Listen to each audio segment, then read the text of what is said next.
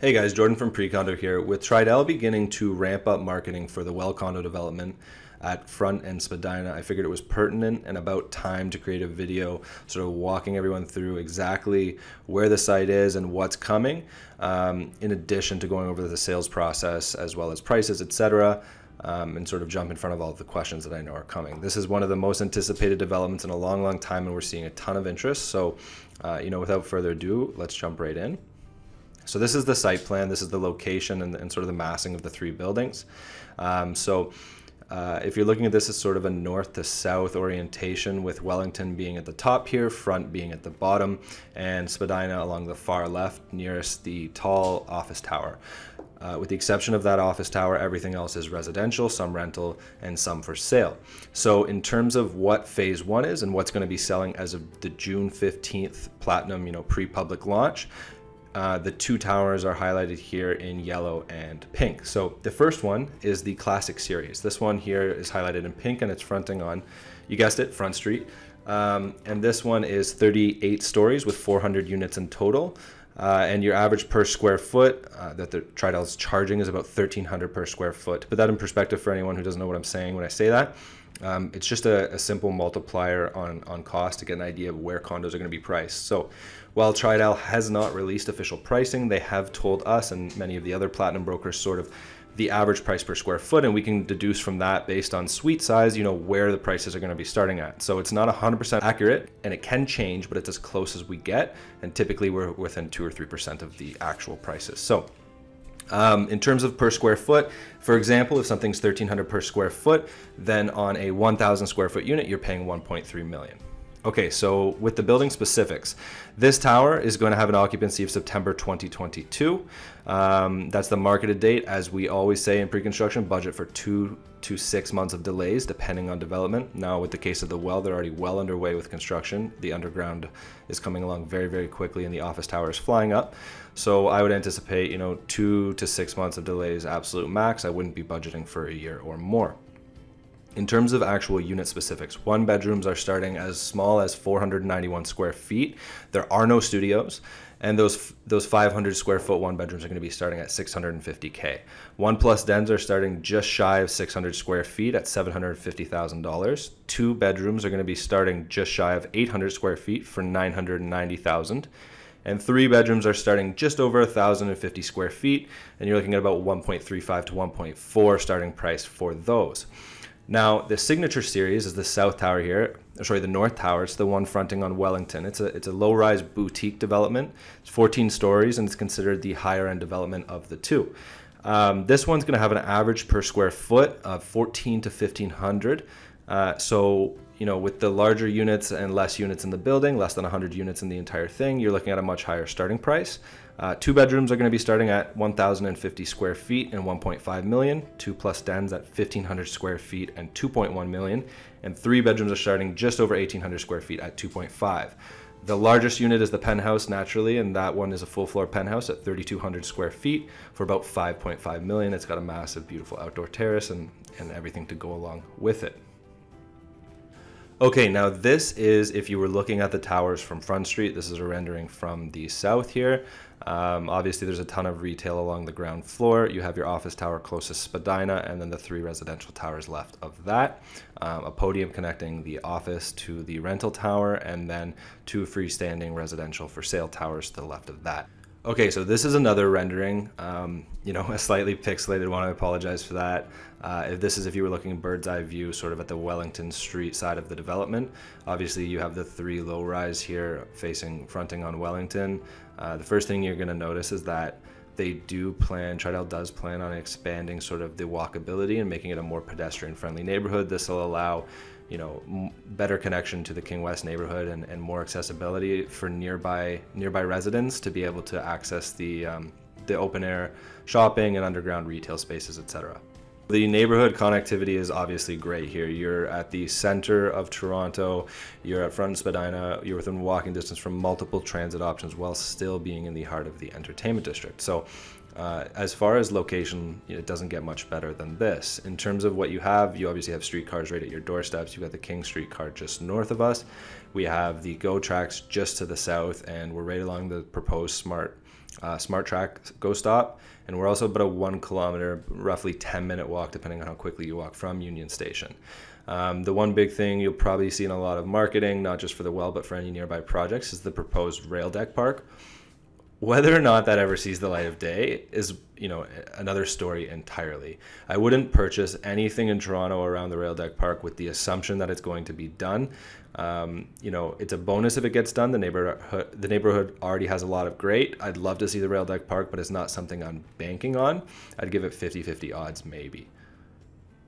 So, assuming for once Toronto does pull through with our transit plans and we get that rail deck park, what's it going to look like?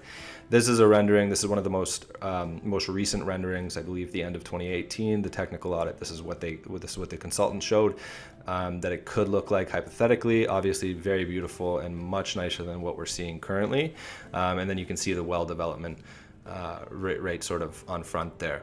Uh, one thing to note is that if we do get the approval on this and if we do spend that money, it's, it's highly likely we're going to see more density around the neighborhood. So it's, it's likely that you're going to see some of the parking lots and, and some of the smaller uh, sort of uh, rundown buildings or heritage buildings built on top of put the well in perspective, it's obviously a multi-phase community.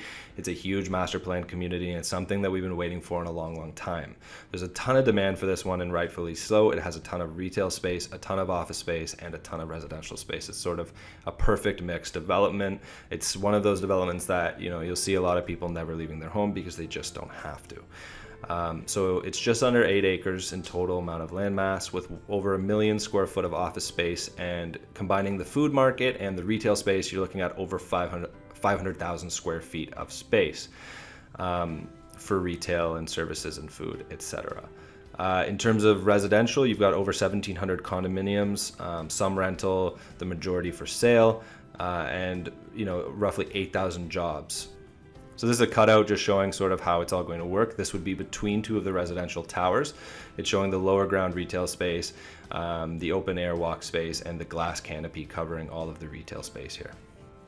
Combining the two-story food market along with all of the retail space, both the enclosed and open air retail space, you're looking at over 500,000 square feet of retail and service space. Um, now, obviously, to most of us, that number means absolutely nothing. So, to put it in better context, Don Mills, uh, shops at Don Mills in total is roughly 500,000 square feet as well. So to put in perspective, it's about the same size as Don Mills. So obviously a ton of retail space, a ton of shopping space. It's not just good for the residents of this particular condo development, but the surrounding developments as well. This is the first story of the food market hall. Um, this will be on the lower level.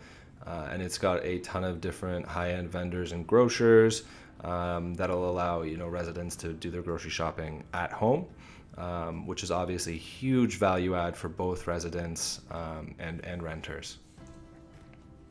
So the second story of the food hall here is all of the ready-made stuff. So it's you know local uh, local vendors, ready-made food, small restaurants, etc. This is a simple rendering of you know what they expect some of the workspaces to look like in the office building, in the podium of the office building. This is a rendering of the open air walkway space, the retail space that'll be in between some of the residential towers. This right here is a rendering of one of the amenity spaces. So because it's so early and we don't have a ton of marketing material, we don't have a lot of uh, renderings of the amenity space, but what's really nice is the residential towers on Front Street there all have rooftop pools. Um, so you're going to be, you know, situated on the top of the roof. You're going to have a, a lounge, barbecues, etc., and access to a rooftop pool. So it's going to be a, a really nice high-end community, and it's probably going to be a really vibrant lifestyle as well. Okay, so the golden rule of pre-construction, in my humble opinion, um, this is something I repeat to absolute death. I say it multiple times per day. It's probably the most auto-suggested phrase in my phone.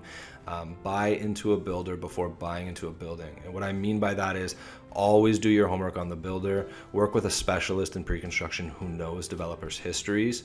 Uh, now it's more important than ever in Toronto specifically to be buying from a reputable developer with good financials and someone who can afford, you know, to project risk out far enough and complete that project, honor originally what you purchased.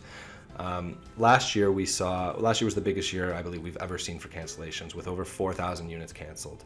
Um, now there was 19 or 20 developments in total. Most of them, you know, small, low-rise boutique builds by by first-time developers or brand new developers who don't have much of a track record. Um, and then obviously the two big projects that make up 90% of the headlines and, and you know 90% of the units as well, Cosmos, um, as well as Icona and Vaughan, totaling over 3,000 of those 4,000 units. So um, with with Icona specifically, I won't mention any names, but the developer doesn't really have much of a track record or a track record at all in our city. Um, so you know that one should have raised some red flags. Uh, regardless, all the marketing material looked great. They did a very good job of marketing the project, and so it sold out. Now the problem when when projects get canceled is obviously you get your deposit back thanks to Tarion. However, the market has continued to appreciate, and you're now likely priced out of the market.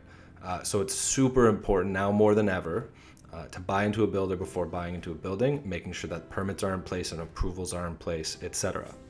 So the well is being developed by Tridel, at least the residential portion is. Now Tridel is one of the most reputable developers in the city and they're not someone I hesitate with recommending to a client. They've never canceled anything that I'm that I'm aware of ever. Um, and typically they're one of the few developers that actually come very close to their marketed dates and their marketed numbers. So Tridel is is definitely um, a good developer. They're probably one of the best in our city. Um, in the case of the well, it's already well underway. So this is a picture of the site, and if you live in the neighborhood or around the neighborhood, uh, obviously you can't help but miss. They've got something like eight cranes on the site right now. Uh, and right there in the middle of the photo there, you can see the well's well. Uh, that's an extension of the Enwave system. So that's the well that's going to be doing a lot of the, um, the no energy heating and cooling for the residential towers, I believe, as well as the office towers, um, which is a cool little fact. So the buildings are incredibly environmentally friendly really quickly just want to touch on who we are and what we do. So my name is Jordan. I own a company called Precondo. Uh, if you browse for pre-construction condos online, you definitely have come across us. We are one of the top websites um, and one of the top teams for sales of pre-construction condos in Toronto. We're platinum approved uh, brokers with the majority of the developers in the city, and Tridel is no different. What that means is we get pre-public access to the project, uh, and we get to get our clients in by extension.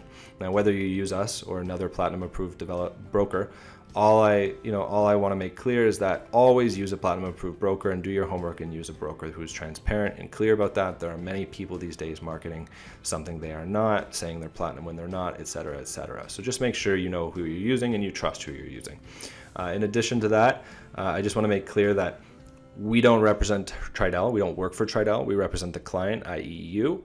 Um, and so any of the prices we're giving out now, any of the floor plans that you're seeing, they're all purely based on speculation. So obviously we've met with Tridel, we've gone over some project specifics, and we have a very good idea of where prices are going to start. However, they can change at any moment and they're not officially marketed by Tridel. So when this project is launching, June 15th. So June 15th is the day that the official floor plans will be released as well as the official prices anything that you see between now and then is merely speculation and estimations by realtors. And anyone who tells you, as a matter of fact, that they have official floor plans or pricing, it's just not true. Tridel doesn't favor particular brokers over others. Tridel is actually one of the most fair companies we've ever worked with.